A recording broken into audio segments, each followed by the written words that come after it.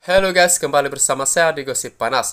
Konflik rumah tangga pasangan Samsul Yusuf dan Putri Sarah nampaknya semakin berpanjangan. Hari ini Putri Sarah pula memfailkan hak penjagaan anak-anak Hadanah penuh di Mahkamah Tinggi Syariah.